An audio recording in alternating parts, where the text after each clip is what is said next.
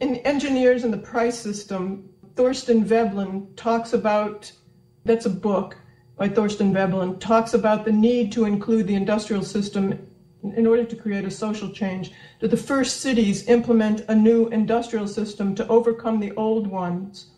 Or does the old system need to be on board to be able to come to a resource based economy? I don't know because Veblen never specifically laid out how the system operates or how goods and services are produced on a vast scale or how to take care of people's health both mentally and physically. No definite information has been supplied. It's just like saying, you know, the world ought to live together in peace and harmony. That would be wonderful. But how do you do that? That's what's missing.